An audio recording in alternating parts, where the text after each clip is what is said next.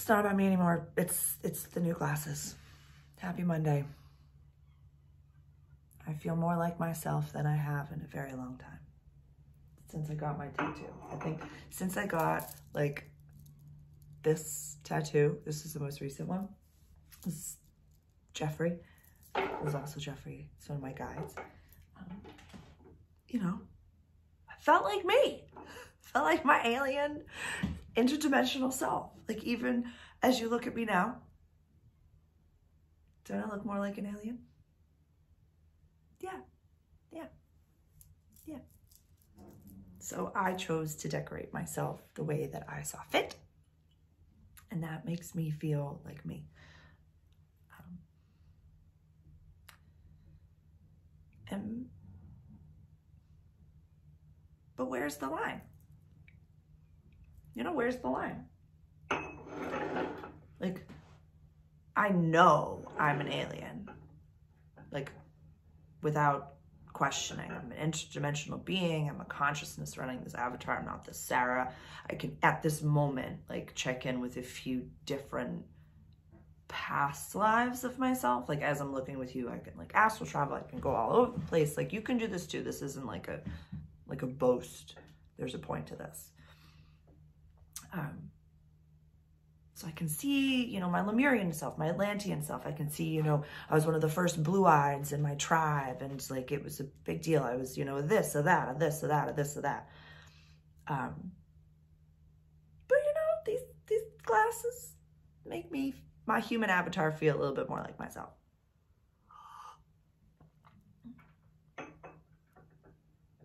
You know, for me, I'm not it's not advantageous for my personal human body to, you know, modify it to be an alien. You know, I know that there are people that, you know, slit their tongue like the lizards and, you know, some people that feel more, you know, male will transition to male and some people that feel more female will transition to female. You know, I myself have identified as they, them, as fairy, as alien numerous times in my during my awakening during the most confusing times of my awakening. That's how I identified. Um, because that's how I felt in that moment. I did not feel like I belonged in this body. And even in this moment now, as I'm speaking to you, I can tell you that I'm a consciousness that's running this avatar, this meat suit. And I love her. I love her, my sweet Sarah. She's gorgeous, mm, beautiful, really doing, you know, the inner trauma work, the inner deep divine feminine work and recognizing so many different layers and patterns that had, you know, showed me that I needed to step more into a masculine role. And I, and I did need to do that. I needed to defend myself and protect myself from many men that I allowed in that were not of sound mind. Um, I was also put on birth control pills when I was 12 years old. And just a year or so ago, I removed my IUD by choice, or, you know, I got it removed by choice. And took a year for flow to come back, but it took incredible processing to recognize that certain things that I definitely thought and knew at that time I wanted and enjoyed and desired. The whole thing's shifting and changing sexual desires are shifting and changing. Um, a friend of mine who is also going off birth control pills, she's saying that there's, you know, smells and the way that we're attracted to things. It all changes. You know, this is not just my language. This is, you know, there's just like studies and, and tons and tons and tons. So do your own research on this. This is just my experience of what I'm going through. And just, you know, I don't have the answer to this. Where's the line? You know, where's the line for, for you and where's the line for me? For me personally, you know, I'm getting more tattoos, I'm getting more piercings. I will, you know, let my hair grow long, but I'll wear glasses and be very ostentatious in my present in my presentation. You know, I dance down Main Street. I don't give a flying fuck. Because that's how I feel. That's who I am. On the inside, that's my soul. That's my being. That's my light. That's me showing my light to the world. That's me being my flowery self. And yes, like I will, you know, have needles put in my body. I will dye my hair. I will do these things. You know, I'm really grateful for the fact that when I was in a manipulated space, when I was, you know, had different chemicals, you know, firing and affecting the receptors in my brain, I'm grateful that I didn't, you know, transition my body. And it transition my body. There was times I felt more male. There was times I felt more completely androgynous. There's times I literally felt fairy. You know, I, I sometimes have dreams that one day I literally sprout wings. Like very X-Men style. And I like don't know what to do. I'm like, do I call someone? Like, Sabatu, what do I do? like, how much can I go to work? Like, I don't know. but, but where's the line? You know, we're also in Pisces season. Illusion, fantasy, you know, manipulation, you know, certain music, certain music that you listen to. Maybe, maybe you hear something, you're like, this sounds really gross. Really gross. Like all of a sudden it's like dirty, weird. You know, for myself personally, I, you know, also have past lives where I was sold to the child sex trafficking ring. You know, I, you know, was a part of the, you know, Illuminati. These are past lives. I've seen it. I've seen all of it. So as I unfold these layers and I unfold those traumas and I unfold, because that's, that's for a lot of people, that could be super confusing. A past life trauma? What?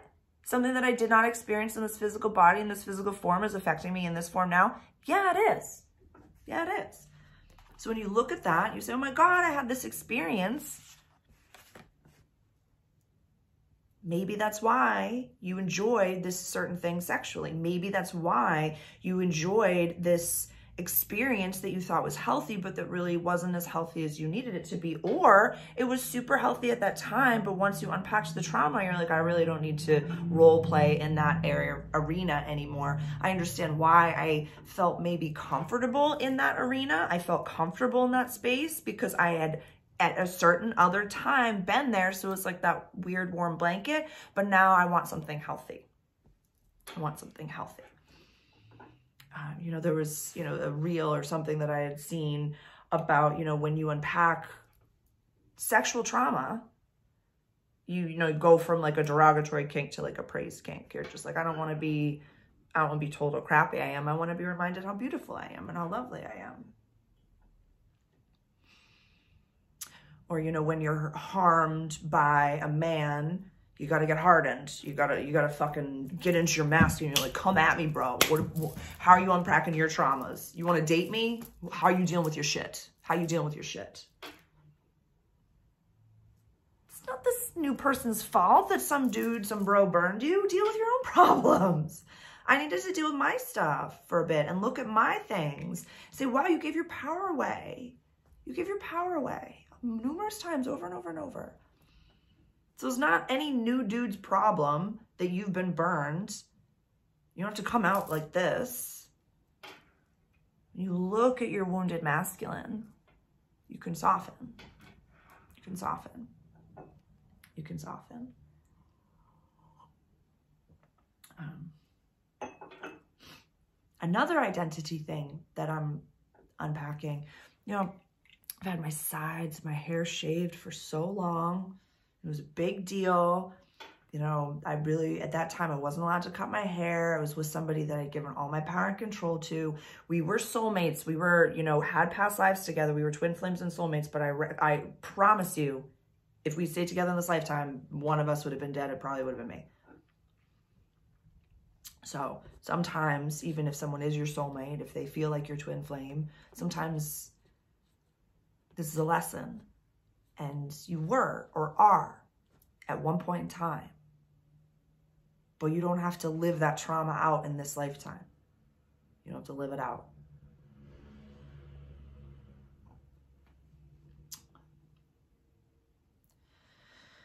And then, you know, when you get to the core of these traumas, you know, they, they usually come from mom and dad.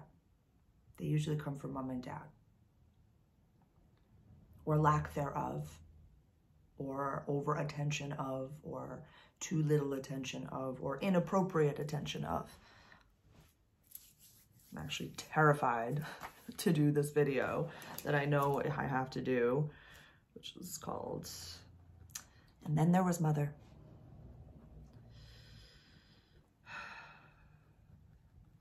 Because um, as we do this inner divine feminine work and this inner divine healing and we get to our softness and we find our femininity, we find our balance, and then our balanced partner approaches us and finds us, you know, they also have parents that have affected them. They also have traumas that they're dealing with. What's fascinating to me is the divine masculine right now is in this beautiful blossoming. It's in this beautiful coming to be where the conversation and the manipulation and all the different things that have happened really are like showing their ugly head.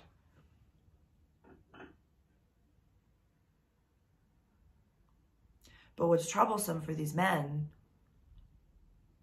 as they're learning to stand in their power, you know, maybe the mother that taught them how to stay small isn't ready to step into her divine feminine. You know, she's divine masculine or bearing the son. So then the son stands in his power. And mother is fucking pissed. Pissed. Pissed. Because you were my pseudo husband. You were the pseudo man that I could latch onto for an extended period of time, if not my entire lifetime. Because I don't want to look at the man that I'm standing next to or lack thereof. And by you unpacking your traumas, son, I have to now look at mine with my husband's. I'm not attracted to him. I'm not interested in him. We're legally married because we have to be. It's been too long. We've dealt with this oh, no, I'm looking at you because I'm more interested in you and having more of a relationship with you that crosses too many boundaries. I'm talking to you, son. I don't want to look at the husband that's standing there. He's in his feminine. Mm-mm. No, he's in his feminine. I don't want to look at him.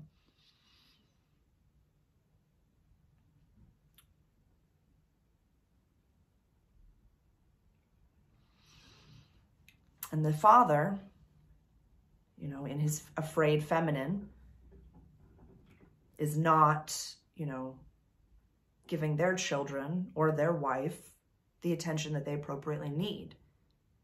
They might still be a boy sitting at the dinner table having to eat their Brussels sprouts. See, see the patterns that are happening here. But because, if you're here with me now, the whole thing is so confusing. It's happening all at the same time. We're all waking up. There's all this information. Blah, blah, blah, we grasp onto any version of control any version of control, any version of attention seeking behavior. This is, this is who I am. I'm very aware that I don't need to post as many selfies as I do about my glasses. And I don't give a shit because it makes me happy. I do it for me. I've dealt with the parental issues. I've dealt with that. I've dealt with having to cut out. I've dealt with all these things. The why I needed to go into more masculine behavior, why I needed to physically present in a more masculine behavior, unpack a lot of that childhood sexual trauma, adolescent issues, which uncle did this, what happened, all that, A, B, and C.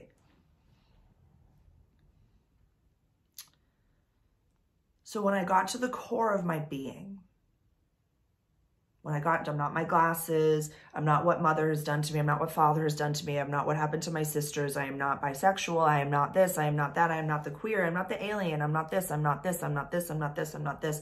I am consciousness running this avatar. I'm consciousness. I'm a beam of consciousness. And I love that beam of consciousness. And I love that beam of consciousness so much. And it's perfect and it didn't fuck anything up. And it's not its fault and it's not its job, it's not the amount of money in the bank account, it's not anything. I am.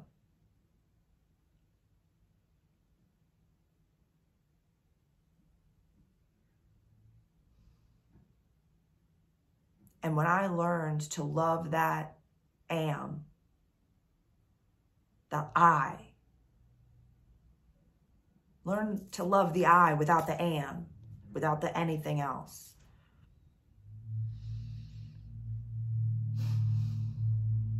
That's when I bought the glasses. That's when I stopped reaching out. That's when I stopped double texting. That's when I started, you know, painting again or, you know, doing my body art again, my acrylic on body, wrapping all up in it, getting that healing energy on the canvas while listening to specific music and tones and just putting, there's so much in it. There's so much in it. There's so much in it. Bits of my being and soul and the physical healing from my body and skin and hands and my hands-on healer as well goes into the piece. And it doesn't have to make a fucking sense to anybody. It doesn't have to make sense to anybody. I don't have to convince anyone my visions. I don't have to convince anyone that I'm an alien. I don't have to convince anyone that it's my final lifetime. I don't have to convince anyone that their children are speaking to me telepathically. I don't have to convince you who I am. I don't have to do anything. I can grow my hair. I can be feminine. I can have a different opinion from the Sarah that I was yesterday because I don't need to prove anything to anyone. I'm not proving to you who I am. I'm saying this is me. This is, it, it just is. It's not a for you, it's a for me. It's not attention seeking, it's I am attention. What is that, Jim Carrey? I cannot be contained because I am the container. Be your motherfucking flower. Be yourself.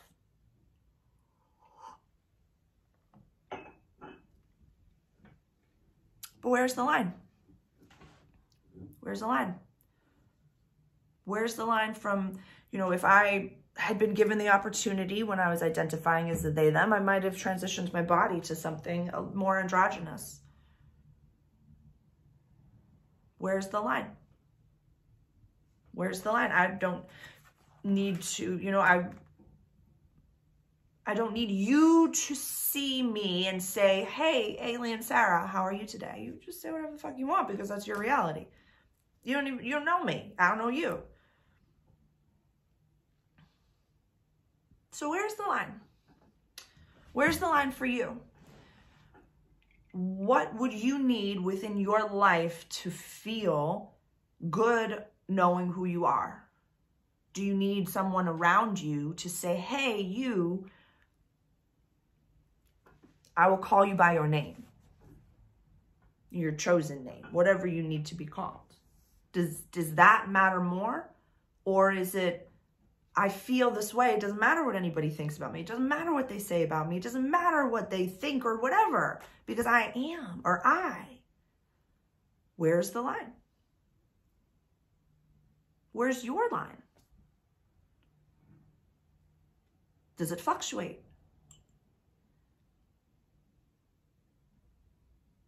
Because I find that the more natural I become, the more, and by saying natural, I mean I eat organic food as much as I possibly can. Drink clean water, you know, no fluoride or anything like that. I meditate as often as I can. I, you know, I'm exercising. Sarah, I'm going to yoga. I will go to yoga. I'm going to yoga. I'm going back to yoga. I'm unpacking yoga traumas from lifetime, okay? Unpacking yoga traumas. I know. I know. I heard it too.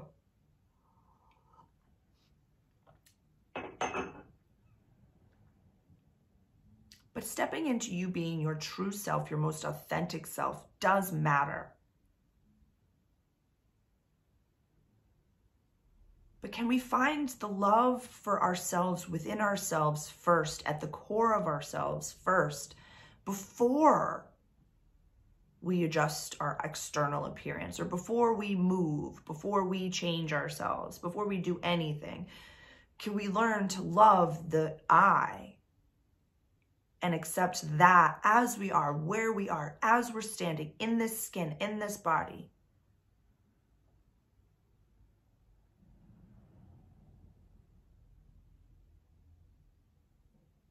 I think that's Monday's video. I think that's our topic for today which doesn't even has an answer. It doesn't even have, this is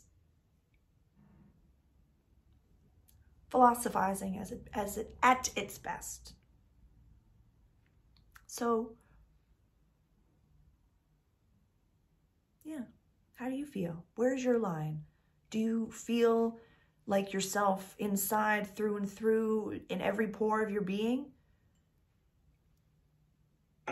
And if you don't, can you love yourself in every pore of your being? Before that, can, can, can the love come first? Before you move, before you make changes, before you get the tattoo, before you change the clothes, before you do any of that, can you find the love first? Because you're lovable in this breath. In this breath, you're lovable. In this breath, you're worthy. In this breath,